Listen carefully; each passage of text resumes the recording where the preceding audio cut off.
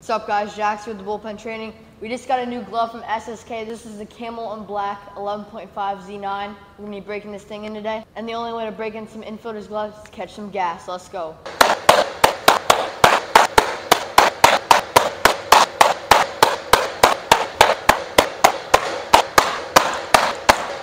All right, so we just finished up catching that chat off the machine. About 150 balls. This thing should be game ready after about two or three rounds of this. Always a big shout out to SSK for always hooking us up with all these sick gloves.